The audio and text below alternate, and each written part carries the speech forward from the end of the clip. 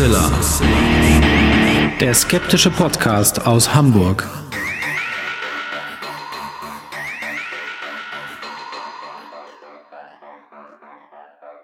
Hallo und herzlich willkommen zum 233. Mal bei Huxilla, dem skeptischen Podcast aus Hamburg. Wie immer bei mir meine wunderbare Frau, die Hoax Mistress Alexa. Hallo ihr da draußen und ich freue mich natürlich außerordentlich, dass wie immer zum Glück der wunderbare Alexander Hoaxmaster bei mir ist. Ja, und weil verschiedene Anfragen gekommen sind, weil es äh, ganz viele Menschen gibt, die uns scheinbar immer noch neu entdecken, was uns außerordentlich freut. Vielleicht ganz kurz zum Einstieg nochmal für all diejenigen, die uns zum Beispiel auf YouTube hören. Ähm, wenn wir erwähnen, wir haben Links unter die Folgen gepostet, dann müsst ihr auf unserer Homepage huxilla.com kommen, weil wir diese Links nicht unter die YouTube-Folgen posten, sondern die findet ihr dann auf unserer Homepage. Gleiches gilt für Menschen, die uns über Spotify hören und sagen, Mensch, wo gibt's denn diese ganzen Quellen, die da erwähnt werden?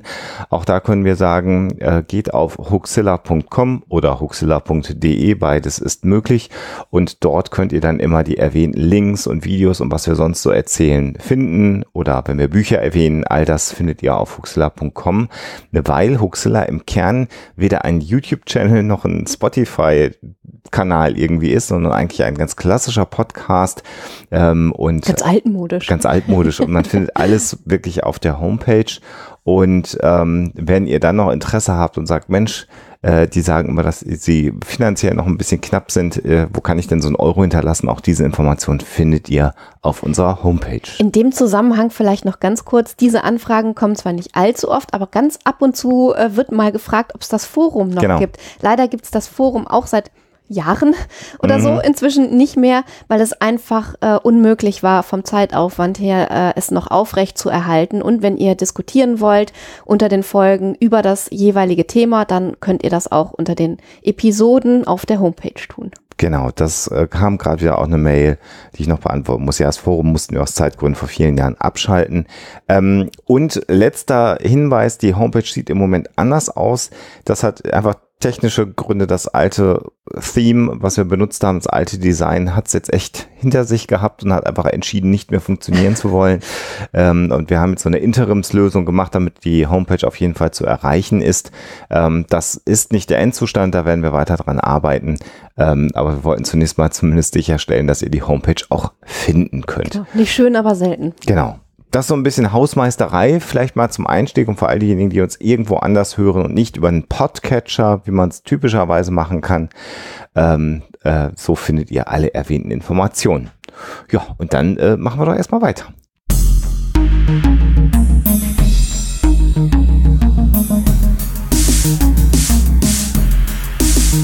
Die Story der Woche. Die Story dreht sich diesmal, ich weiß gar nicht warum, rein zufällig um äh, NASA-Raummissionen. Und ähm, zwar eine recht menschliche ähm, Vorrichtung, die Raumanzüge für Astronauten bereithalten musste. Äh, es geht um den Urinbeutel. Der Raumanzug, in dem die äh, Astronauten ja wirklich viel Zeit verbracht haben, musste auch irgendwie dafür sorgen, dass Urin aufgefangen werden konnte und dass das nicht irgendwie äh, irgendwo hingelangt, wo man es nicht unbedingt haben will. Kurzum, man hat da im Raumanzug einen Beutel gehabt und dieser Beutel musste eine äh, durch eine kondomartige Vorrichtung am entsprechenden Körperteil des Astronauten befestigt werden, um es mal so ganz vorsichtig zu umschreiben, damit unser Podcast vielleicht doch noch ein bisschen familienfreundlich bleibt. Und äh, diese Vorrichtung äh, kollidierte zum Teil doch etwas mit dem Ego der Astronauten, denn ähm, diese Vorrichtung, diese kondomartige Vorrichtung zur Verbindung zum Urinbeutel gab es in verschiedenen Größen, Small, Medium, Large, das kennt man ja aus der Bekleidungsindustrie. Nun ist das nicht besonders schmeichelhaft, wenn der Astronaut äh, vorher da dieses Setup zusammenstellen muss, wenn er dann äh, den Tatsachen ins Auge blicken muss und dann die kleinste Größe, also Größe Small auswählen muss. Das wollte kaum einer. Und deswegen hat man sich kurz kurzum entschlossen, da andere Bezeichnungen zu verwenden. Also statt Small, Medium, Large sowas wie groß, größer, am größten, um es mal so ganz grob zu übersetzen, damit die Astronauten sich so ein ganz bisschen gebauchpinselt fühlen und das nicht so peinlich ist, die ganze Geschichte. Wenn das denn stimmt, was ich gerade erzählt habe. Das da wär- könnt ihr jetzt mal überlegen. Genau, das werden wir aber am Ende der Sendung nochmal aufklären und machen dann jetzt ja mit äh, Geschichten rund um den Mond mal weiter.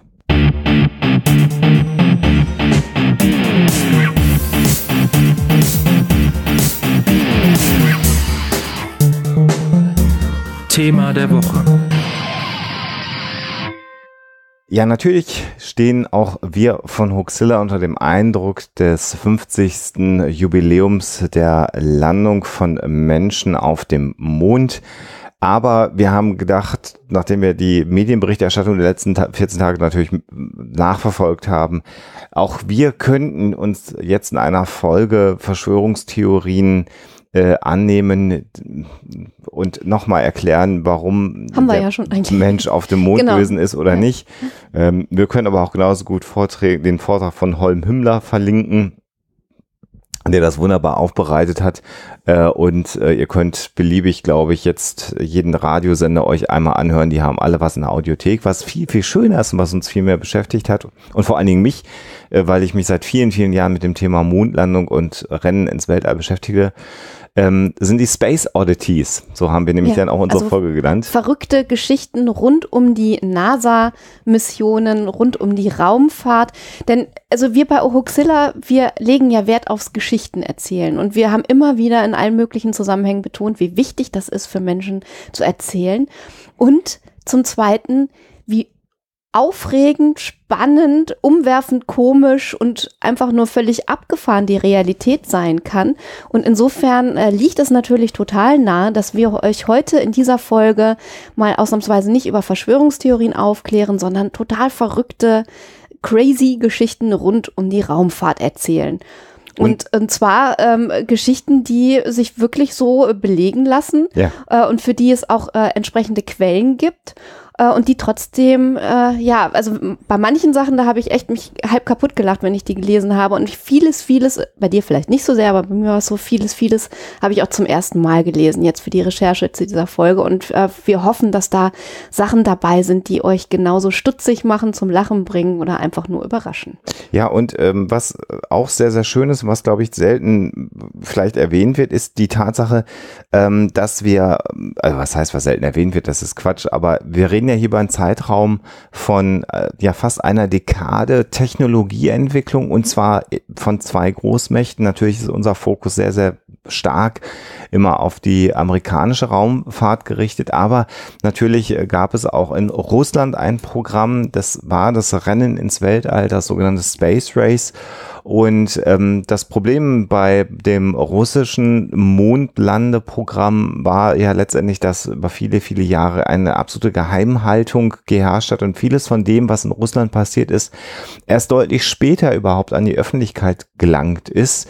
Und wir haben uns auch ein, zwei Geschichten nochmal herausgesucht, die wirklich vielleicht nicht jeder kennt, die aber zeigen, wie eng doch auch das Rennen zum Mond immer noch geblieben ist und ab wann tatsächlich dann äh, ja doch deutlich wurde, dass die Amerikaner dort das Rennen gewinnen werden.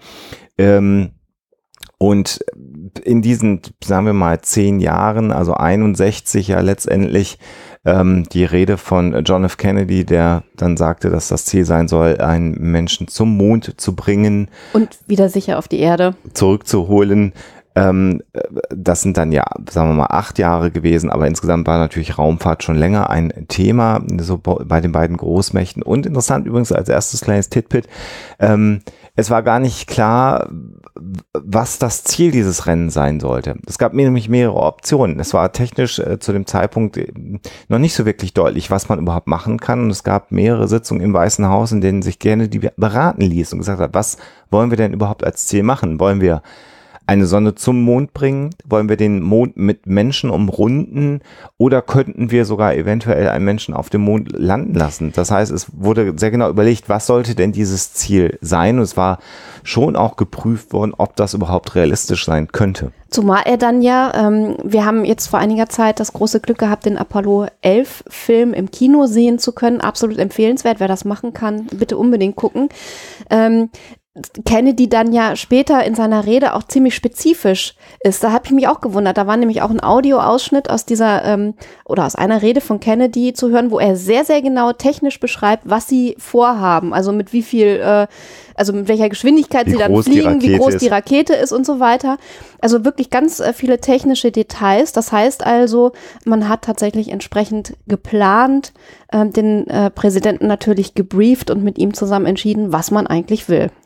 Wir müssen vielleicht einmal noch auch aus deutscher Sicht vielleicht, äh, auch wenn das etwas unangenehm ist, natürlich auch nochmal anmerken, dass der, der treibende Faktor bei äh, dem amerikanischen äh, Apollo-Programm dann letztendlich und bei der Mondlandung äh, sicherlich Werner von Braun gewesen ist, der Konstrukteur, der unter anderem ja auch für die V2-Raketen in Deutschland dann letztendlich äh, verantwortlich gezeichnet hat. Ähm, äh, Operation Paperclip. Genau, ja genau. Er ist Mhm. also ja von den Amerikanern rübergeholt worden und man muss ganz klar sagen, dass hier Amerika äh, das Mittel der Propaganda sehr äh, gut genutzt hat, denn die Verstrickungen von Werner von Braun im Dritten Reich sind na, sagen wir mal, neutralisiert worden für die amerikanische Öffentlichkeit. Heute weiß man, dass Werner von Braun sehr wohl gewusst hat, dass Zwangsarbeiter ähm, arbeiten und auch unter grausamsten Bedingungen diese äh, Raketen für das Dritte Reich gebaut haben und er das in Kauf genommen hat und gewusst hat, so dass man vielleicht diesen kleinen Dämpfer doch nochmal setzen muss. Ähm, aber sicherlich war er derjenige, der mit seinen Konstruktionsentwürfen den, der Raumfahrt äh, Vorschub gegeben hat. Eine andere ja, Figur, die wenig thematisiert wird, Alexa Ja, hebt den äh, Finger. genau, genau. Äh, vielleicht ein kurzer Einwurf, die Operation Paperclip und das, äh, die Beteiligung von Werner von Braun in diesen ähm, äh, ja, technischen Missionen, die man da äh, durch die Amerikaner ähm, erkennen kann in der Geschichte, hat natürlich auch so als Baustein eines Narrativs dazu geführt, dass leider äh, braun, äh, also braune Esoteriker heute noch, ähm, also Rechtsesoteriker heute noch ähm, die technische, also die angebliche technische Überlegenheit des Dritten Reichs äh, verklären. Das sind natürlich alles so Bausteine, die eben zu dem Narrativ, was wir leider heute noch in diesen Kreisen finden, ähm, mitgeführt haben. Und ähm, gerade die Operation Paperclip, ähm, wer das äh, Interview mit Dr. Axel Stoll noch in Erinnerung hat, spielt da ja auch eine gewisse Rolle und ähm, ist so ein kleines Zahnrädchen in diesem Kreis von Verschwörungstheorien heute. Vielleicht ähm, das nochmal so ganz kurz am Rande. Mhm. Auf der anderen Seite in Russland, äh, wir haben äh, zum Beispiel ja in Folge 178 schon mal einen Blick in die russische Raumfahrt äh, geworfen und haben über Lunokhod berichtet, äh, dem Mondrover der Russen, der ja auch wenig bekannt ist, kann man sich gerne auch nochmal anhören. Äh, die Episode zum, zum Lunokhod, auch eine spannende Geschichte. Aber äh, als Gegenpol zu Werner von Braun dann Sergei Korolev, ähm, als äh, Genosse Konstrukteur, ähm, äh, ich glaube Oberingenieur, ich, er hatte so einen, einen Codenamen, das heißt, man wusste gar nicht den Namen von Korolev. Ähm, unter Stalin in den Säuberungsaktionen ins Gulag verfrachtet, als Feind des neuen Staates deklariert, mehrere Jahre dann im Gulag, im Zwangsarbeitslager musste Korolev arbeiten. Und als es deutlich wurde, dass die Amerikaner ähm, mit der Kriegsbeute und zwar einmal auf der technischen Ebene, also wirklich Blaupausen und aber auch den Konstrukteuren, nämlich Werner von Braun aus Deutschland abgereist sind, wurde den Russen bewusst, oha, äh, jetzt müssen wir auch agieren und wir müssen schauen, ob wir ebenfalls diese Konstruktionsentwürfe verwerten können, die die Deutschen äh, entwickelt haben. Und ähm, man entschied sich dann tatsächlich, äh, Korolev wieder aus dem Gulag herauszuholen, damit er wieder erneut äh, als Konstrukteur äh, für Raketentriebwerke arbeiten kann. Eine sehr, sehr interessante Geschichte. Korolev äh, zu dem Zeitpunkt dann aber gesundheitlich schon so angeschlagen, dass er ja auch am Ende das Rennen ins Weltall nicht überlebt hat, sondern an einer Krebserkrankung dann am Ende auch verstorben ist, vorher aber auch schon einen sehr, sehr schlechten Gesundheitszustand hatte. Und es gibt viele Stimmen, die bis heute nach Sicht, nach, nach vielen Jahren und Durchschau natürlich der Dokumente, die man dann bekommen konnte, irgendwann mal sagen, dass es spannend gewesen wäre, wenn Korolev bei besserer Gesundheit gewesen wäre und vielleicht schneller hätte entwickeln können in Russland, als das der Fall gewesen ist. Aber das sei jetzt mal dahingestellt. Vielleicht bleiben wir genau, die, auf der russischen Seite. Sagen, ja. Nämlich äh, ein Beispiel, was. Äh, also wie knapp so dieses Rennen gewesen genau. ist. Ne? Also es gibt tatsächlich, das war mir zum Beispiel auch neu, äh, eine Parallelmission der Russen zu Apollo 11. Also als Apollo 11 sich gerade daran machte, auf dem Mond zu landen, gab es auch eine russische Mission, lass die ganz uns, in der Nähe war. Genau, lass uns aber noch eine Mission so. Also nicht eine Mission, aber lass uns noch mal einen ja. ein, ein, ein Schritt noch mal weiter zurückgehen. Äh, du sprichst von Luna 15, genau. da werden wir gleich drüber sprechen. Das ist nämlich Kopf an Kopf rennen tatsächlich. äh, äh, sehr interessant finde ich die Zond 5 Mission. Äh, äh, Zond, eine, eine Reihe von ähm, interplanetaren äh, Sonden, die die russische Raumfahrtsbehörde entwickelt hatte ähm, die zum Teil zum Venus geflogen ist, zum Teil zum Mars geflogen ist, aber auch heimlich ähm, Vorbereitung für eine Mondlandung natürlich mitbegleiten sollte. Die Russen haben das immer gestreut. Das heißt, die haben dann auch so eine Sonde mal zum Mars und mal zur Venus geschickt, ähm, damit nicht so ganz deutlich ist, wo es hingeht. Man sieht schon, wie aktiv eigentlich diese Zeit gewesen ist. Ne? Die haben also auch schon Sonden zur Venus zum damaligen Zeitpunkt geschickt. Sond 5, darum sollte es aber gehen, ist eine Sonde gewesen, ähm, am äh, 1968 im September nämlich gestartet ist.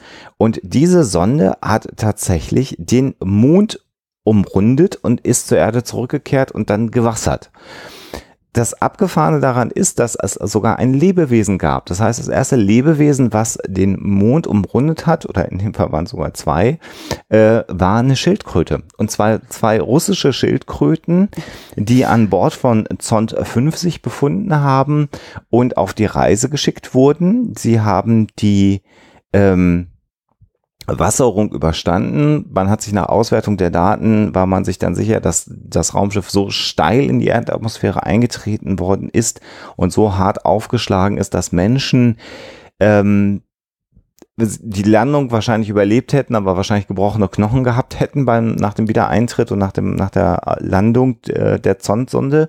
Die Schildkröten hatten das Problem nicht. Sie, sie haben hatten, sich in ihren Panzer zurückgezogen. ja, so nach dem Motto. Sie hatten äh, Gewicht verloren, weil sie offensichtlich ähm, ja keine Nahrung erhalten haben an Bord der Sonde. Über Tiere und Raumfahrt könnte man mhm. auch nochmal eine ganz eigene Sendung machen. Da haben sich auch die verschiedenen Nationen nicht so wirklich mit nee. Ruhm und Ehre bekleckert. Aber sei es hingestellt, diese beiden äh, Schildkröten haben den Flug überlebt und äh, das zeigt schon, dass die Russen bereits 1968 in der Lage waren, ähm, ja eine Sonde zum Mond zu schicken und sogar mit Lebewesen an Bord. Wo wir gerade bei Tieren und äh, Space Race waren, was aus Leica tatsächlich geworden ist, weiß jeder, der die Marvel-Filme natürlich gesehen hat, hier mal so als kleine Anspielung am Rande. Ne? Wir wissen alle, wo Leica äh, dann letzten Endes gelandet ist. Beim Collector nämlich. Genau. Wir wollen das aber jetzt äh, wir wollen ja nicht spoilern, natürlich. Ähm, aber dieses Zond-Sonde zeigt natürlich ein Stück weit, ähm, wie eng ähm, das Rennen war und zeigt auch, warum natürlich die Amerikaner nach wie vor mit Druck äh, am ne, Programm, äh, Apollo-Programm ähm, festgehalten haben und äh, zeigt dann auch ganz kurz nochmal den Bezug zu Apollo 8 denn Apollo 8 war eigentlich eine Mission, die in der Erdatmosphäre verbleiben sollte. Ähm, Apollo 8 ist gestartet am 21. Dezember 1968. Man hat dann aber irgendwann auch mit Spionagefotos auf äh, der Start Plattform äh, in Russland eine riesige Rakete stehen sehen. Vermutlich wusste man auch von dem Zond-Programm und wusste das also schon ein, äh, eine Schildkröte. Und die Kapsel bei Zond war so, dass man da auch einen Menschen hätte reinsetzen können. Also es war jetzt nicht klein, sondern das Raumschiff per se, die Zond-Kapsel hätte Menschen transportieren können von der Größe her.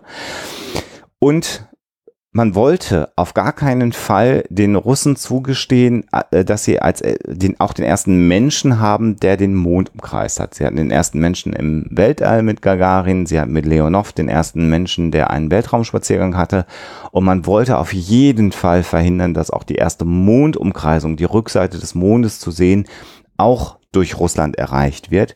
Und das hat dazu geführt, dass Apollo 8 dann ja von der Missionendesign umgestrickt wurde, relativ kurzfristig für Raumfahrt in Anführungsstrichen.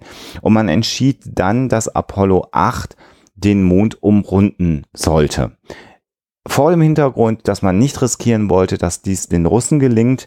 Und da sieht man schon im September die Zond 5 um Mondumkreisung mit Landung die natürlich von den Amerikanern festgestellt wurde. Das heißt, die Sonne hätte in Kasachstan landen sollen, ist aber vom Kurs abgekommen, ist notgewassert, wurde von russischen Militärschiffen aufgesammelt und natürlich waren auch ganz zufällig amerikanische Militärschiffe, die natürlich beobachtet haben, was die russischen Militärschiffe da so äh, machen. Ähm, und das war natürlich völlig klar. Ähm, wir können auch gleich noch was zu Funksprüchen und solchen Geschichten mal erzählen. Da, da kommen wir noch dazu, genau. ja. Ähm, so dass äh, den Amerikanern völlig klar war, verdammt, die haben jetzt schon eine Sonne um den Mond geschickt und da steht eine riesen Rakete, wahrscheinlich sind die kurz davor, den Menschen zum Mond zu schicken. Und das zeigt dann die Reaktion, Apollo 8 musste äh, den Mond umrunden. Also man hat sich da wirklich, also diese beiden Supermächte haben sich gegenseitig immer weiter nach vorne geschubst und immer weiter angetrieben, äh, diese Space Race doch äh, schneller zu entscheiden. Das finde ich eigentlich auch ganz spannend. Ich frage mich, ähm, ob das nicht letzten Endes, also so schwierig diese Zeit gewesen ist, auch gut gewesen ist, dass da so ein großer Konkurrenzkampf gewesen ist, weil die technischen Lösungen, die dann her mussten, doch sehr, sehr viel schneller entwickelt wurden, denke ich, als wenn man gesagt hat, okay, äh, komme ich heute nicht, komme ich morgen, äh, wir, we'll get there when we get there, so nach dem Motto, weil, ne, ist eh nicht so der zeitliche Druck da. Ja, also natürlich ähm, sind das jetzt die, hm, sagen wir mal, friedvollen Aktivitäten, mhm. die zu diesen technischen Entwicklungen geführt haben. Im Kern ging es natürlich darum, äh, Vormachtstellung. Vormachtstellung und äh, Raketen äh, benutzt man ja erstmal also hat man hier benutzt, um Menschen und Lebewesen ins Weltall zu bringen, aber es war natürlich auch der Hintergrund, dass man äh, Atomsprengköpfe um die Erde herum genau platzieren wollte und abwerfen wollte. Wenn wir jetzt vielleicht doch langsam zu Luna 15 äh, kommen, dann äh, ist das aber auch ein Beispiel dafür, dass man zumindest auf so ganz praktische, notgedrungene Art und Weise dann auch mal äh, zähneknirschend mehr oder weniger zusammengearbeitet hat oder sich nicht so sehr gegenseitig behagt hat, dass es für beide Missionen ähm, ja schwierig geworden wäre. Denn diese beiden äh, Parallelmissionen Apollo 11 und Luna äh, 15 äh, waren dann äh, letzten Endes so äh, eng beieinander und so miteinander verwoben, ähm, das werden wir sicherlich gleich nochmal genauer ausführen, dass die Russen den Flugplan von äh, Luna 15 tatsächlich veröffentlicht haben und damit auch den Amerikanern natürlich zugänglich gemacht haben, damit eben diese beiden Missionen sich nicht so in die Quere kommen, dass eben alles scheitert oder vielmehr die Gefahr aus Sicht der Russen für Luna 15 zu groß wird. Vielleicht noch ein kleiner ähm, Fakt zu Apollo 8. Ich habe ja gerade schon gesagt, am 21. Dezember äh, 1968 gestartet. Tatsächlich sind die um Heiligabend herum dann auch wirklich um den Mond herum geflogen und haben um diesen besonderen Anlass zu zelebrieren, äh, aus der Schöpfungsgeschichte, aus der Bibel vorgelesen. Das war dann ein bisschen problematisch, weil eine bekennende Atheistin in den äh, USA die NASA verklagt hat und gesagt hat, das würde ja wohl gar nicht angehen, äh, dass jetzt hier der christliche Glaube einem aufgedrückt würde, auch noch von Steuergeldern bezahlt. Die Astronauten, die also zum Mond geflogen sind, erzählen jetzt was von der Schöpfungsgeschichte. Ähm, die Klage ist dann letztendlich äh, nicht durchgedrungen, äh, war eher eine Fußnote. Allerdings tatsächlich hat die NASA da, von dort an dann dafür gesorgt, dass jegliche Idee von christlichen Bezügen oder Bibelzitaten bei besonderen Ereignissen äh, rund um die Mondlandung zu unterbleiben oder unterlassen sind und ganz interessant dabei, deswegen dann auch erst viel, viel später ge bekannt geworden, was Buzz Aldrin genau. nämlich nach der Mondlandung gemacht hat. Der hat, ne? nämlich äh, eine heilige Kommunion gefeiert tatsächlich. Ähm, und äh, das wurde dann natürlich nicht mehr referenziert, das heißt also nicht an die große Glocke gehängt, aber ihm äh, war es scheinbar doch wichtig, irgendwie so ein Ritual zu vollziehen, auch ein christliches Ritual zu vollziehen, was ihm ähm, äh, ja sehr angemessen erschien in diesem Zusammenhang. Ähm, er hat dann allerdings, das ähm, ist dann später auch bekannt geworden, in einem Zitat äh, gesagt, ja, er sei sich gar nicht mehr so sicher, ob das jetzt so eine tolle Idee gewesen wäre. Ähm, weil er nämlich ähm, äh, dann hinterher sagte, ja, wenn ich jetzt die Chance hätte, das alles nochmal zu machen, wäre ich mir nicht sicher, ob ich wirklich nochmal diese heilige Kommunion feiern würde, äh, weil das für mich zwar eine wahnsinnig ähm, wichtige Erfahrung gewesen ist, aber ähm, äh, dass wir natürlich im Namen aller Menschen, nicht nur der Christen, sondern auch der Juden, äh, der Muslime, der äh, Agnostiker, Atheisten, der Buddhisten. Animisten, Buddhisten, wie auch immer, äh, auf den Mond äh, geflogen sind oder zum Mond geflogen sind und natürlich äh, dementsprechend auch das nicht äh, christlich unbedingt besetzen wollten. Also dieses Zitat kann man im Netz nachgucken. Er hat das hinterher nochmal so ein bisschen relativiert, aber in dem Zusammenhang, in der Situation war es ihm wohl wichtig. Hatte auch noch Plate und Messwein dabei, muss man sich auch mal vorstellen, in seinem kleinen Privatpaket, äh, um äh, genau das zu feiern. Also da sehen wir schon viele, viele kleine Fakten rundherum, die man heute ein bisschen verliert, weil es einfach auch 50 Jahre schon her ist, der ganze Kram. Oder in dem Fall sogar 51 Jahre.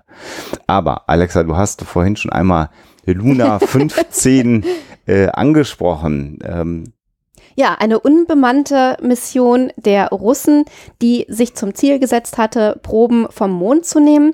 Parallel zur Apollo 11 Mission fand das Ganze statt und zwar zeitlich so arg parallel und auch in räumlicher relativer Nähe, dass man doch äh, zähneknirschend irgendwie äh, sich so weit austauschen musste, dass die Gefahr eben für die Mission nicht zu groß wird. Die äh, Russen haben in dem Zusammenhang äh, die Flugpläne von Luna 15 veröffentlicht, also auch den Amerikanern zugänglich gemacht. Äh, damit eben man sich da irgendwie so ein bisschen absprechen konnte und das nicht irgendwie so zur großen Katastrophe kommt. Wobei ja Luna 15 jetzt auch nicht so erfolgreich gewesen ist. Nee, äh, Luna 15 war sicherlich aber der, der letzte verzweifelte Versuch der Russen, äh, das Race to Space noch zu gewinnen, ähm, denn es sollte eine unbemannte Sonde sein, die vor den Amerikanern Mondgestein zurück zur Erde bringt. Das war der Missionsplan von Luna 15 und während die äh, so, ähm, Astronauten ähm, Neil Armstrong und Buzz Aldrin auf dem Mond waren, sollte dann Luna 15, die zu dem Zeitpunkt schon, ich meine, an die 40 äh, Mondumrundungen äh, hinter sich hatte. Das heißt, die ist also schon eine ganze Zeit lang um den Mond in einem äh, in einer Umlaufbahn unterwegs gewesen, äh, sollte sie dann landen. Sie ist dann letztendlich bei der Landung vermutlich abgestürzt. Man vermutet heute, dass sie in eine Bergkuppe oder eben an einen aufgehäuften Kraterrand, wie auch immer, eingeschlagen ist und danach eben der Kontakt verloren gegangen ist, sodass dieser letzte Versuch, äh, die Amerikaner noch zu schlagen und als erste Nation Mondgestein zurückzubringen, dann am Ende doch gescheitert war. Ähm, der russischen Raumfahrtbehörde oder der russischen Weltmacht, in dem Fall muss man ja schon sagen, der UdSSR. Ähm, was man aber sicherlich nochmal sagen kann zum Thema ähm, Verschwörungstheorie ist natürlich, dass zu diesem Zeitpunkt, ähm, wenn man denn in der Lage war, die Signale zu empfangen, man parallel die Funksprüche von Apollo 11 hören konnte, und zwar natürlich mit der Laufzeitverzögerung, die man braucht zum Mond hin. Das ist ja alles mit ein bisschen Verzögerung, weil das Signal dann ein bisschen unterwegs ist im All. Und man aber auch parallel dazu tatsächlich Luna 15 hören konnte. Das heißt, hier war völlig klar zu dem Zeitpunkt, du hast auch gesagt, die Russen haben dann ja gesagt, wir haben da was hingeschickt, dass zwei Signale unterwegs sind. Und damit war natürlich auch der NASA, die natürlich auch Luna 15 gehört hat, klar, dass die dort eine Sonde haben. Ähm, Russland hat natürlich gerne seine ganzen Missionen immer heimlich abgewickelt und über die Erfolge berichtet. Amerika war da deutlich offener ähm, und bei Apollo 13 hat es ja eben dazu geführt, dass dann auch die ganze Welt letztendlich ähm, ja, mitgelitten und mitgefiebert hat, ähm, als es dann das Problem an Bord von äh, Apollo 13 äh, gegeben hat. Ähm, aber da wird auch nochmal deutlich, dass so richtig geheim oder verschwörerisch das gar nicht sein konnte, denn spätestens dann, wenn es am Mond war und alle Teleskope auf die Radiosignale ausgerichtet waren, man dann schon mitkriegte, dass irgendwas anderes da offensichtlich auch noch sendet. Alles gefälscht. Hm. Natürlich. Für die Verschwörungstheoretiker oder äh, behaupten natürlich. Äh, Genau. Ähm, wo wir gerade bei Funksprüchen waren, vielleicht können wir in diesem Zusammenhang ganz kurz erwähnen, dass der Funkverkehr, der ja wirklich, wie wir jetzt gerade auch gehört haben, erstmal äh, durch jeden, der das empfangen konnte und wollte, äh, nachprüfbar war und dann natürlich auch sowieso von öffentlichem Interesse war. Also die Astronauten, die unterwegs waren, auch bei den Apollo-Missionen, auch ein bisschen länger unterwegs waren, da alle möglichen Missionen ausgeführt haben, standen die ganze Zeit natürlich unter Beobachtung der Öffentlichkeit. Und ähm, das betraf natürlich vor allem alles, was sie da so äh, gesagt haben, was sie so zurückgefunkt haben zur Erde. Und das war für die NASA teilweise ein ziemliches Problem. Und das ist auch so eine Geschichte, da habe ich mir überhaupt keine Gedanken drüber gemacht, dass das ein Problem sein könnte. Die Astronauten Oh. des äh, NASA Space Program waren die absoluten Aushängeschilder der Nation. Das waren Männer, die meistens verheiratet waren, so ein gewisses Saubermann-Image hatten, also die, die typischen amerikanischen Helden, die man so haben wollte. Die natürlich auch von der Presse und der Genau. Öffentlichkeit zu Helden ja, stilisiert ja, worden ja, ja, sind. klar, aber natürlich auch gewollt. Ne? Na Also man, das hat man äh, nicht nur billigend in Kauf genommen, das hat man auch so ein bisschen so haben wollen. Genau. Wenn jetzt diese Männer aus allen möglichen Gründen anfangen, auf ihren Missionen herumzufluchen und sich einer Sprache zu bedienen, die nicht unbedingt diesem Image zuträglich ist, dann ist das für die NASA ein Problem. Es gab da zu, zum Beispiel bei Apollo 10 einen Vorfall, äh, der einen gewissen Colonel Tom Stafford betraf, der also nun äh, mit der ähm, mit dem LAM irgendwie da also irgendwie durch die Gegend geflogen ist. Bisschen LAMP steht für Lunar Ex- Excursion Module, das heißt, das ist die Mondlandefähre gewesen. Und Apollo 10 war tatsächlich äh, das sogenannte Vorbereitung Dress Apollo 11, Rehearsal, das genau. heißt, da ist tatsächlich die Mondlandefähre abgedockt bis auf haha, 5000 Fuß. Bitte alle Leute, die sich noch besser auskennen, jetzt mich nicht totschlagen in den Kommentaren, auf die Mondoberfläche runtergegangen ähm, und dann aber wieder hochgeflogen. Das heißt, das letzte Stück, die Landung haben sie nicht durchgeführt und Lem halt. war mehr so eine. Aufklärungsmission, wenn Genau. man so will.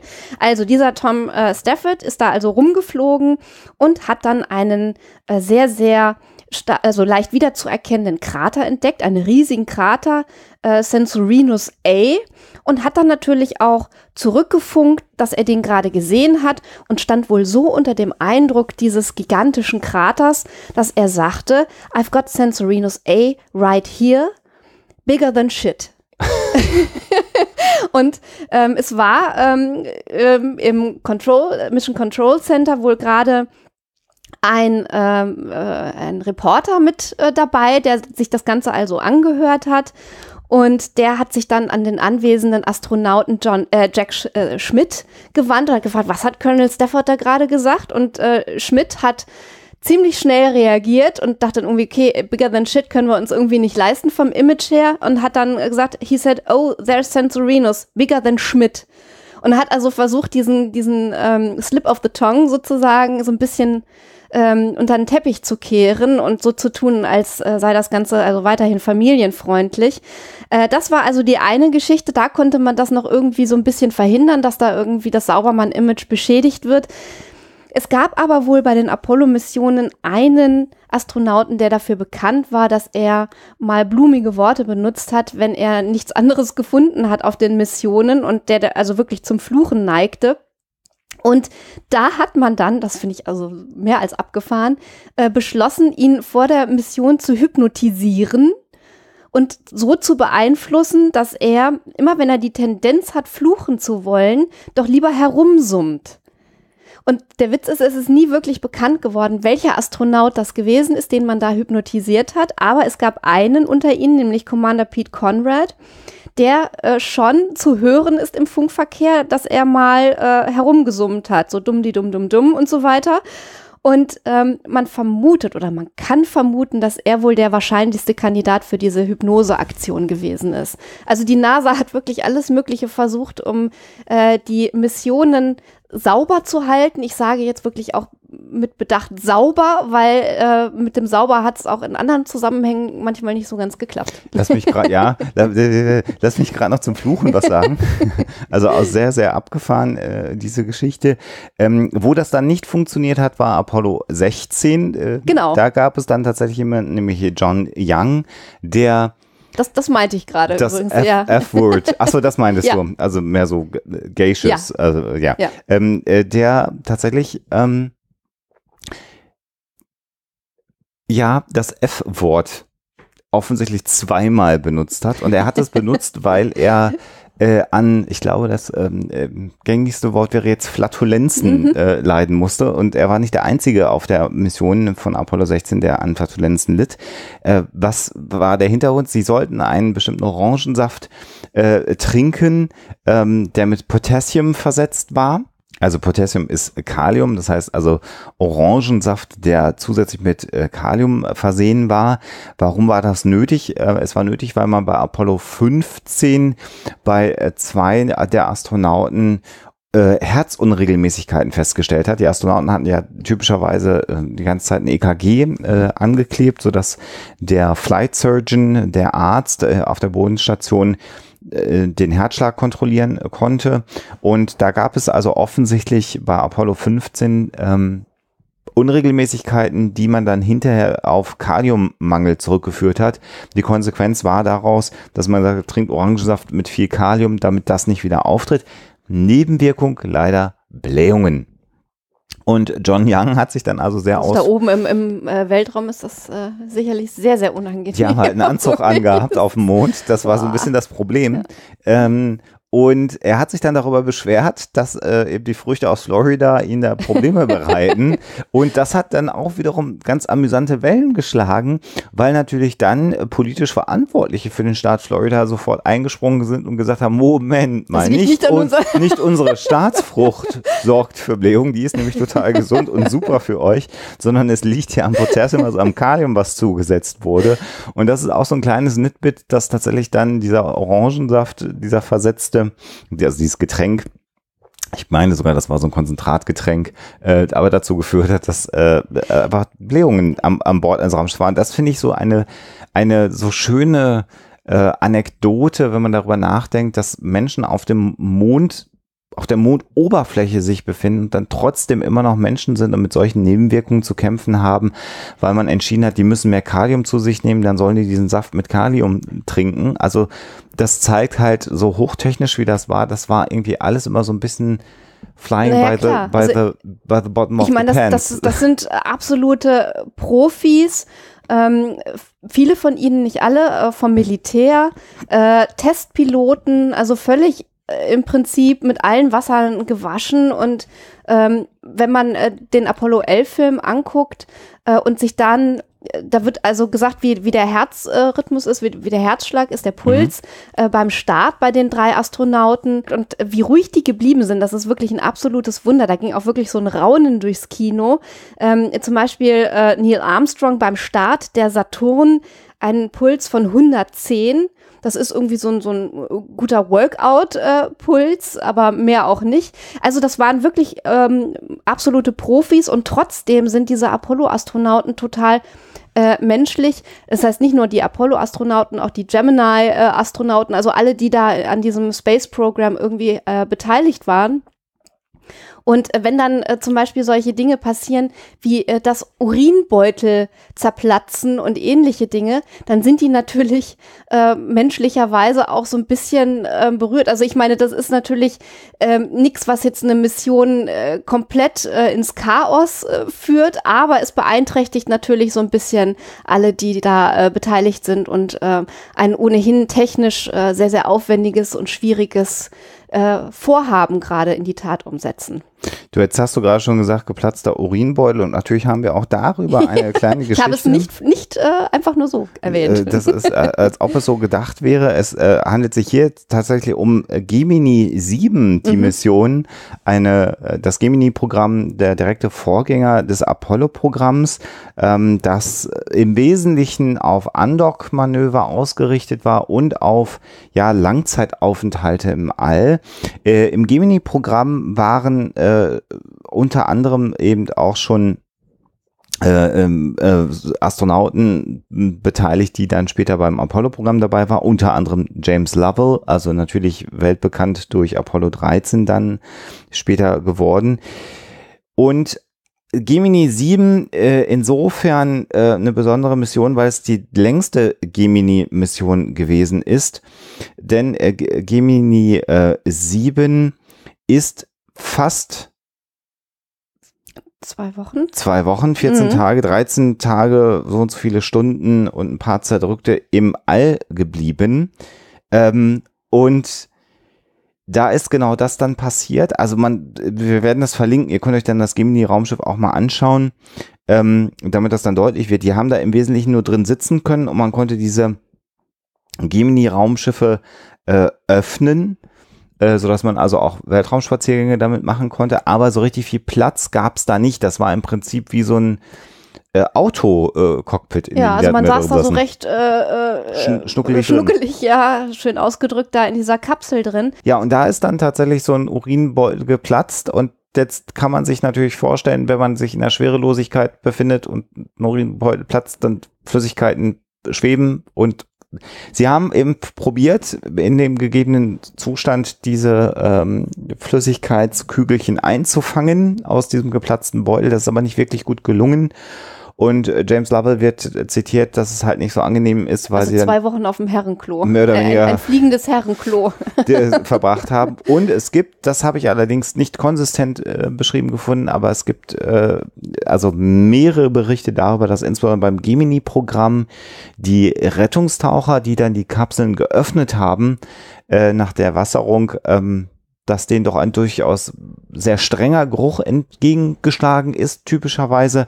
Und bei Gemini 7, die tatsächlich 14 Tage im All war, gibt es ein, zwei Berichte, die ich aber jetzt nicht verifizieren kann, dass der Taucher sich dann doch tatsächlich, nachdem er die Kapsel geöffnet hat, einmal erstmal ins Meer übergeben musste, weil es dann doch so streng gerochen hat. Ähm, man kann hier sagen, natürlich, ähm, die menschliche Nase in Verbindung mit dem Gehirn ein sehr adaptives Organ, ähm, was offensichtlich dann Gerüche auch ganz gut ausblenden kann.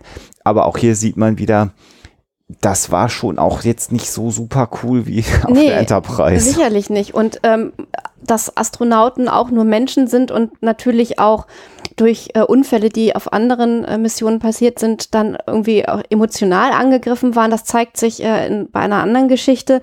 Ähm, es gab eine Apollo-Mission, Apollo 7, ähm, äh, wo äh, fast ja sowas wie eine Art kleine Meuterei ausgebrochen ist, ne? weil alle irgendwie scheiß Laune hatten und irgendwie emotional angegriffen waren. Und ähm, dann äh, irgendwann kam es tatsächlich auch äh, zu Situationen, wo fast so etwas wie Insubordination ähm, vorgekommen ist. Ah, du spielst auf Wally Schirra und äh, die Apollo 7 Mission dann Mhm. an, ne? Äh, Ja, äh, das ist auch eine sehr verrückte Geschichte. Was passiert, wenn man einen Kettenraucher zum Astronauten macht? Ähm, äh, der kann nicht rauchen an Bord eines Raumschiffs äh, und wird dann ein bisschen cranky. Genau, und äh, Shira war sowieso emotional so ein bisschen neben der Spur, wie eigentlich alle äh, in dieser Mission, weil ja äh, es zu diesem schrecklichen Unfall ähm, gekommen ist, wo unter anderem Gus Grissom umgekommen ist. Mhm. Äh, der Feuertod der Apollo-Astronauten, der hat natürlich auch einen Einfluss auf die emotionale Stabilität, also auch wenn es natürlich Profis waren, äh, der folgenden Apollo-Missionen gehabt. Also äh, man wäre kein Mensch, wenn man da nicht irgendwie mal drüber nachdenken würde. Und deswegen war die Stimmung auf dem Flug von Anfang an schon ziemlich angegriffen. Äh, Genau, also Wally Schirra, also äh, grundsätzlich die Astronauten waren äh, n- nicht, in der Regel nicht die allerbesten Freunde. Die, ich glaube, die Crew von Apollo 12 mit Pete Conrad war die Crew, die am allermeisten äh, befreundet war. Der Rest waren Profis, äh, in der Regel ja bis auf Neil Armstrong alle im Militärdienst. Neil Armstrong ja eigentlich der einzige ähm, Zivilist, der zwar auch fürs Militär Testflüge mitgemacht hat, aber eben kein Soldat war.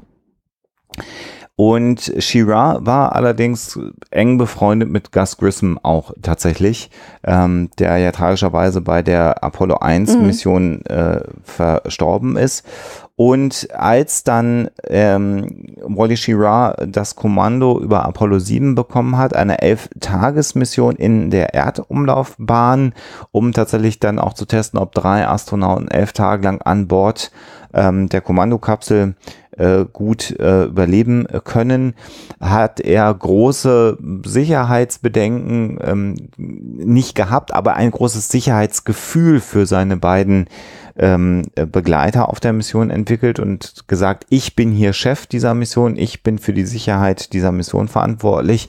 Und das stand ein bisschen im Widerspruch zu dem, was die Flight Control natürlich ähm, empfunden hat oder auch die NASA generell, denn letztendlich gab es natürlich einen Commander an Bord ähm, äh, eines Raumschiffs im Rahmen des Apollo-Programms, aber die Ansagen ähm, der Flight Control ähm, waren eigentlich Gesetz das klappte bei Apollo 11 nicht so gut. Also Shira, Kettenraucher. Dann hat er noch eine Erkältung gehabt, Kettenraucher, also es war alles nicht so Genau, toll. eine Kopfgrippe. Mhm. Die Konsequenz daraus war natürlich, dass der ähm, Schleim in den Nebenhöhlen nicht rauskam. Er hatte kaum Möglichkeit, sich die Nase zu putzen. Das funktioniert im Weltall nicht so gut. Flüssigkeit sammelt sich eh mehr im Kopf in der Schwerelosigkeit. Das heißt, er war einfach schlecht drauf. Sie waren ähm, äh, während des Fluges dann auch davon genervt, dass es gut 30 Minuten gedauert hat, ähm, ein menschliches Geschäft zu erledigen, weil die Raumanzüge so eng waren. Und als es dann am Ende darum ging, bei dem, bei der Landung und dem Wiedereintritt von Apollo 7 die Helme aufzusetzen, hat Shira das verweigert und hat gesagt, wir werden die Helme nicht aufsetzen, ich kriege eh kaum Luft. Und Flight Control hat halt gesagt, ihr müsst das aber machen, falls es zu einer Dekompression kommen sollte, falls das Raumschiff an Dichtigkeit verliert und ihr den Helm nicht tragt, dann seid ihr eben tot und ihr müsst oh einfach diese Raumanzüge tragen, damit ihr nochmal eine eigene Atmosphäre hat. Und äh, Shira hat dann tatsächlich das sich durchgesetzt. Die haben die Helme nicht getragen. Die Mission ist gelandet, äh, erfolgreich. Shira ist dann hinterher auch ausgeschieden. Das war für ihn zu dem Zeitpunkt schon klar, dass er nicht mehr Bestandteil des Apollo-Programms ist. Er hat dann hinterher andere Missionen fürs Fernsehen kommentiert und auch so eine interessante Fußnote der Geschichte tatsächlich einen Werbevertrag mit einer Nasenspray-Firma hinterher gehabt, äh, oh Mann, äh, ja. die dann den äh, Kopf äh, frei macht. es hat hinterher tatsächlich nochmal eine Situation. Keine Nikotinpflaster. Okay. okay das das äh, habe ich nicht gefunden. Hätte mich auch interessiert, ob sie ihm noch Nikotinpflaster aufgeklebt haben. Es hat später nochmal eine Mission gegeben, äh, wo es äh, tatsächlich zu äh, Schwierigkeiten gekommen ist. Das war im Rahmen ähm, äh, der späteren Skylab-Missionen. Ähm, das waren ja so abgekapste Apollo-Missionen, wo man Teile der Saturn V-Raketen dann zu einem großen, ja, Weltraumlabor umgebaut hat, eben dem Skylab. Ähm, und äh, ja, so ein Vorläufer der ISS oder auch der Mir tatsächlich, auch das war so, ein, so eine Folge des Apollo-Programms. Und Skylab 4 ähm, hat dann tatsächlich für einen Tag irgendwann die gesamte Crew die Kommunikation mit Houston einfach abgestellt weil man ihnen ein so straffes Programm an Bord von Skylab 4 gegeben hat, so viele Experimente, die sie durchführen mussten, so viele Arbeitsschritte, dass die Astronauten dann irgendwann so gestresst waren von der konsequenten Arbeit in der Schwerelosigkeit, dass sie aus Protest ähm, für einen Tag ähm, die Kommunikation eingestellt haben und gestreikt haben. Wäre das jetzt schon ein Fall für Donald Trumps Space Force.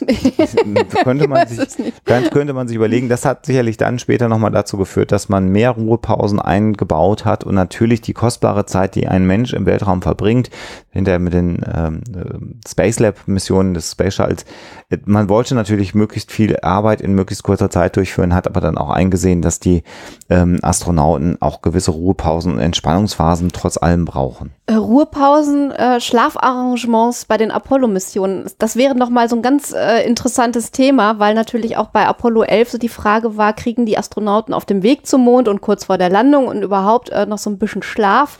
Das war wohl auch alles nicht so ganz einfach. Extrem schwierig. Apollo, äh, Apollo 11 tatsächlich haben die in dem Lunar Lander ja im Prinzip einer auf dem Boden und einer so halb auf dem Triebwerk liegend äh, geschlafen ähm, oder auch nicht. also sehr, sehr leichter Schlaf. Sie waren ungefähr insgesamt, wenn ich mich nicht ganz täusche, 22 Stunden äh, auf der Mondoberfläche ähm, und sollten eigentlich acht Stunden schlafen, was nicht wirklich gut gelungen ist. Und sind danach gestartet und mussten äh, sich wieder mit dem Mutterschiff äh, koppeln. Ähm, da ist man dann schlauer geworden, also NASA-seitig, und hat dann in den späteren Missionen dafür gesorgt, dass es so eine Art Hängemattensystem dann, dann doch gab, sodass die in einem äh, über Kreuzpositionen äh, im Lunarländer übernachten konnten, die Astronauten. Und man hat dann zugestimmt, dass sie Schlafmedikamente nehmen können, denn es war dann doch deutlich, dass sie vielleicht besser ausgeruht den Start und das Unlock-Manöver ähm, durchführen sollten, als völlig übernächtigt hier waren es eben äh, Trained Professionals äh, und äh, es ist sowieso erstaunlich, dass sie das alles so hingekriegt haben. Aber tatsächlich auch die, auch die Landung selber, ne, mit 25 Sekunden Treibstoff, die noch irgendwie übrig waren, weil man erst äh, einen neuen Landeplatz äh, suchen musste, weil zu viele Felsbrocken auf dem eigentlichen äh, geplanten äh, Landeplatz war. Also es ist alles völlig schräg irgendwie. Wir könnten noch Stunden so weitermachen. Ja, also sicherlich eines der Probleme. Michael Collins übrigens an Bord äh, des ähm, Mutterschiffs äh, bei der Apollo 11 Mission, wenn man ihn heute fragt, äh, ist seine Aussage immer, dass er große Sorge gehabt hat, dass irgendwas schief läuft. Er hatte ja keinerlei Möglichkeit. Also wenn irgendwas mit der bei der Landung schiefgegangen wäre oder der Fall eingetreten wäre, dass äh, der Eagle, also die Ascent Stage des Eagles, der Landefähre nicht hätte starten können, hätte Collins nichts machen können. Er war ihm, das war ja nicht dafür auch ausgerichtet, äh, dass er auch kurz landet oder kurz runterfliegt. Und seine große Sorge war, wenn Armstrong und Aldrin etwas passiert auf der Mission, ist er immer noch in der Lage, alleine zurückzukehren zur Erde. Und das war seine größte Sorge, dass diese Mondmission oder Apollo 11 damit endet, dass er alleine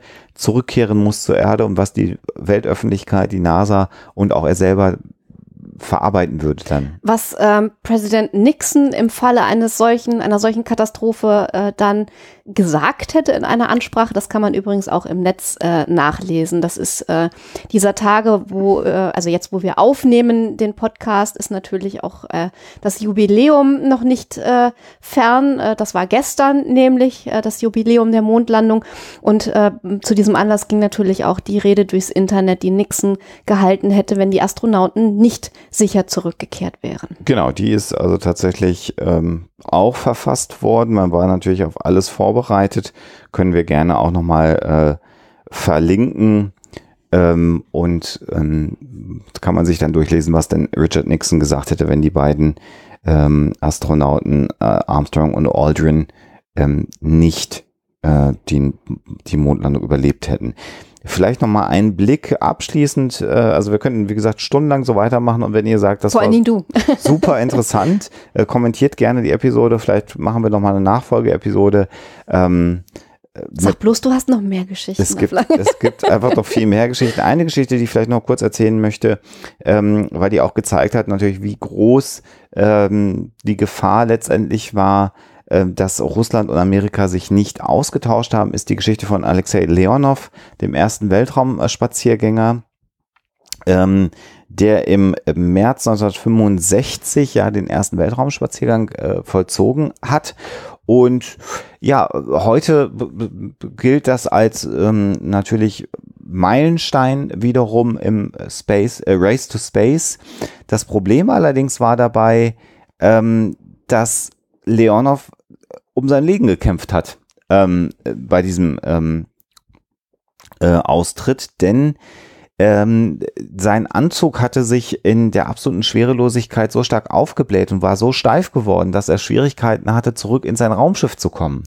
Das hatte man nicht vorhergesehen ähm, und es ist ihm am Ende gelungen, dann doch wieder äh, zurückzukehren in das Raumschiff. Aber es gab tatsächlich Funksprüche, ähm, die da sagten, ich schaffe es nicht, es geht nicht. Ähm, und natürlich wurde hinterher nur gefeiert, dass es diesen ersten Weltraumspaziergang gegeben hat. Das Problem dabei war, dass dann der spätere amerikanische erste Weltraumspaziergang mit ähnlichen Problemen zu kämpfen hatte.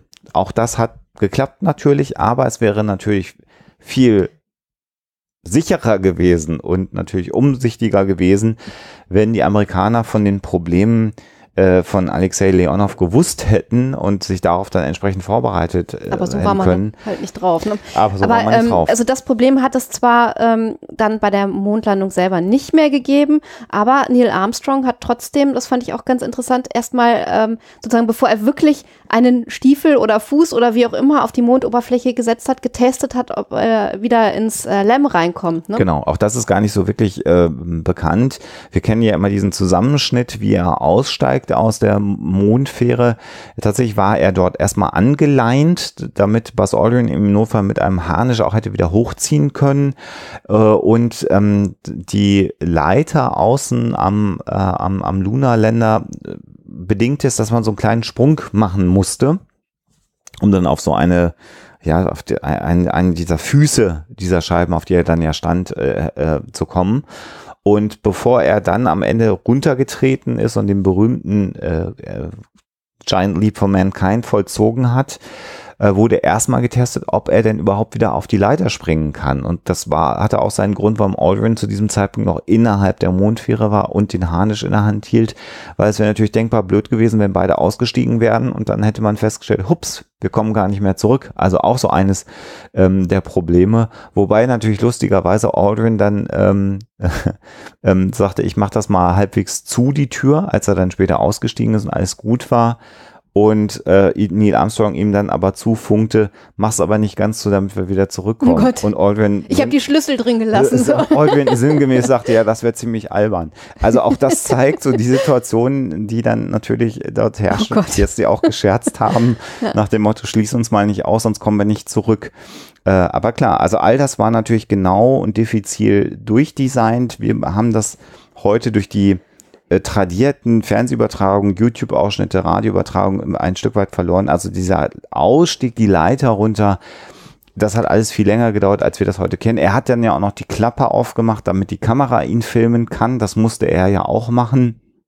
Um Guckt, sozusagen guckt euch Videobeweis zu Apollo liefern. 11 an. Guckt es euch einfach an. Genau, du hast es mehrfach angesprochen, damit es da nicht zur Verwirrung führt. Ap- Apollo 11 ist ein Film, der in diesem Jahr 2019 erschienen ist mit äh, Archivaufnahmen, zum Großteil 70 Millimeter Aufnahmen, die ja nochmal sauber gemacht worden sind, ähm, die in ihrer Schärfe und Brillanz der Bilder und der Farben absolut eindrucksvoll wirken und der ganze Film hat eigentlich keinerlei fiktionalen Anteil, sondern äh, er ist mit Originalkommentaren der Zeit, Originalfunksprüchen unterlegt äh, und das Da, wo es nicht anders geht mit Grafiken. das ist das Einzige, was angepasst wurde. Moderne Grafiken, die visualisieren, wie diese ähm, Mondmission funktioniert hat, Apollo 11. Aber ansonsten kommt dieser Film eigentlich damit aus, Funksprüche zu hören ähm, und am Ende letztendlich äh, die Originalbilder zu sehen der Mondlandung. Absolut eindrucksvoll äh, und auch heute noch Gänsehaut-Feeling. Da hört man dann übrigens auch, dass der Puls von Armstrong bei dieser Landung mit 25 Sekunden Reserve im Notfall dann doch bei 154 gelegen hat. Ähm, Kein Wunder, das war knapp. Ja. das war äh, ziemlich knapp und wird ja dann auch von der Bodenstation kommentiert mit äh, einige sind schon blau im Gesicht gewesen und fangen jetzt genau, wieder an zu atmen. genau. Ja, Vielleicht ganz kurz nochmal für den Funkverkehr und dann glaube ich, hören wir für heute mal einfach auf.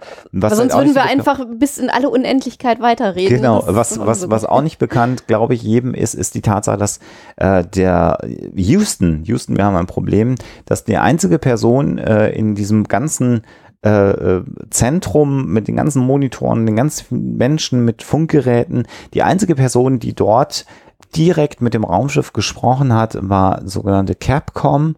Ähm, das, so hieß diese Station und das war ein Astronaut aus dem Apollo-Programm. Und Capcom war die einzige Stelle, die Kontakt mit dem Raumschiff hatte und äh, Gene Kranz, sicherlich äh, allen Menschen bekannt, spätestens durch den Film Apollo 13 Genau, mit Ed Harris. mit Ed Harris als Schauspieler, der dann Gene Kranz dargestellt hat, ähm, der ja durch seine Besonnenheit und durch seine Führung auch dafür gesorgt hat, ein ganzes Stück weit, äh, dass ähm, diese Apollo 13 Mission glimpflich ausgegangen ist. Äh, und äh, es wird in dem Film nicht so deutlich, wie es eigentlich ist, dass Gene Kranz zum Beispiel nie direkt mit den Astronauten gesprochen hat, sondern Gene Kranz hat immer mit seinem Team und damit Capcom gesprochen und nur Capcom hat mit dem Raumschiff gesprochen. Macht ja auch irgendwie Sinn, ne? Das hat man absichtlich so gemacht, damit es eben nicht mehrere Funksprüche zum Raumschiff geben kann, damit die Astronauten immer genau eine Stimme haben, auf die sie sich beziehen können, genau eine Anweisung haben, auf die sie sich berufen können. Und wenn etwas unklar war und sie entschieden haben, war dann auch ja auch oft die Frage, Apollo Houston, was sollen wir machen? Und dann gab es häufig die Antwort von Capcom, mitunter, wenn etwas noch geprüft werden musste, wir prüfen das. Und es war dann nicht so, dass verschiedene Stationen sich gemeldet haben, sondern Apollo Houston war immer Capcom, was angefunkt wurde. Äh, und das hat man auch ganz absichtlich so entwickelt und aufgebaut. Ja. So, Ja. das war es erstmal äh, in dem Zusammenhang. Eine Sache müssen wir allerdings noch auflösen und erzählen. Genau, die Geschichte gleich. Und wie gesagt, kommentiert mal, wenn ihr Lust habt. Äh, Ich glaube, wir haben nicht alles jetzt erzählt, was wir rausgesucht haben. Es gibt noch Geschichten zum Mondrover und ganz, ganz viele andere Geschichten. Falls ihr Interesse habt, sagt Bescheid. Äh, Und ähm, dann machen wir nochmal irgendwann in absehbarer Zeit eine Folge. Und vielleicht kommentiert ihr auch mal, ob die Idee, Geschichten rund um die Mondlandung zu machen und nicht nochmal auf die Mondlandung einzugehen. Zumal wir das ja auch gemacht haben, ne? Insofern. So oder so. Ja. Genau, und jetzt wollen wir aber mal wissen, was hier mit den äh, Größen Mhm. es auf sich hatte. Die Auflösung.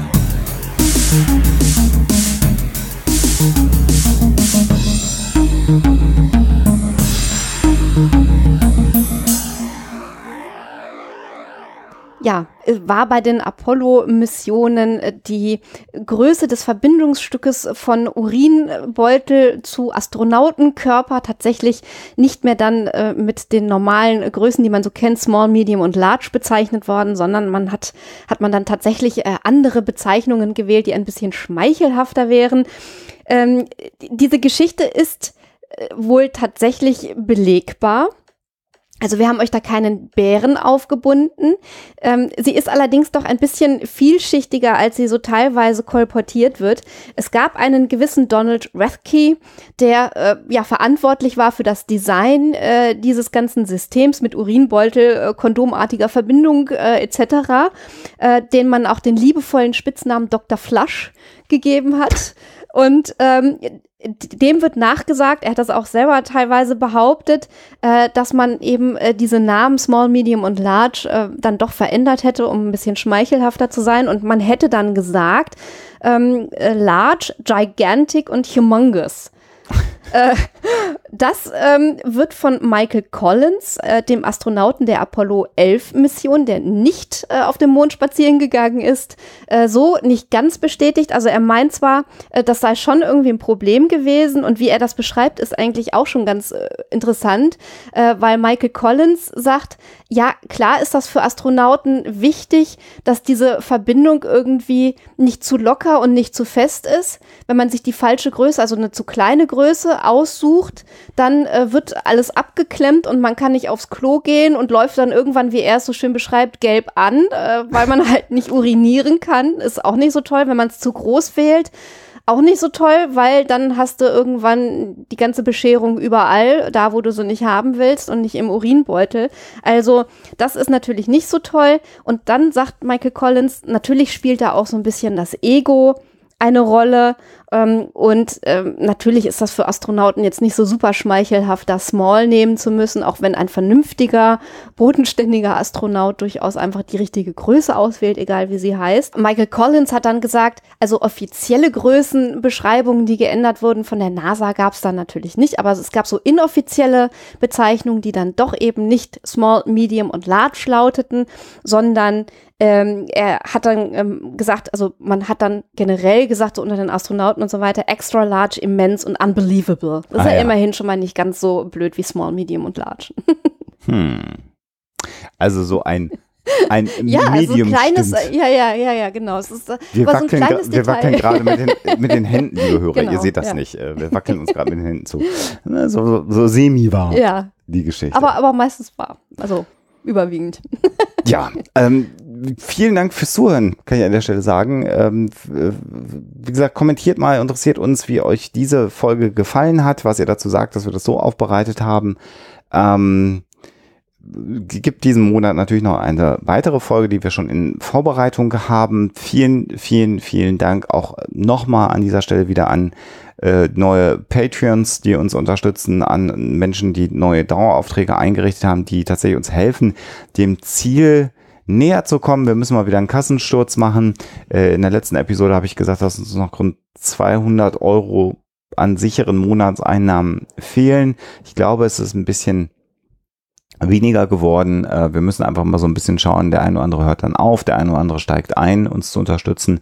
Wir halten euch da gerne auf dem Laufenden immer mal wieder, wie der aktuelle Stand ist. Aber im Moment ähm, sind wir immerhin davon beeindruckt, dass wir das Ziel jetzt schon erreicht haben und ähm, wir jetzt uns langsam einem Jahr ohne Huxilla TV nähern und es uns immer noch gibt und wir immer noch ähm, da sein können mit eurer Unterstützung. Und wir hoffen, dass euch diese Folge gefallen hat. Wenn ihr da Nachfolger haben wollt, können wir den gerne demnächst mal wieder liefern. Ähm, und ansonsten wünsche ich euch da draußen alles Gute und natürlich immer schon skeptisch bleiben.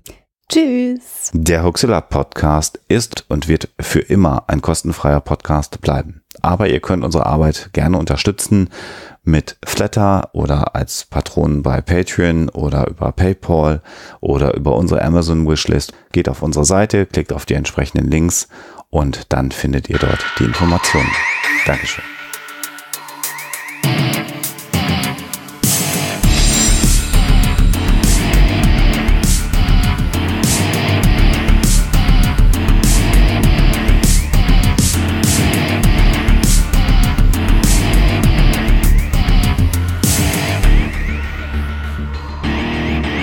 Schickt Fragen, Anmerkungen oder Feedback an info@huxilla.de.